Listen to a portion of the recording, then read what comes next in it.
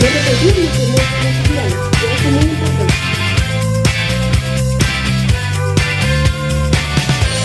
Un aplauso para Cristo.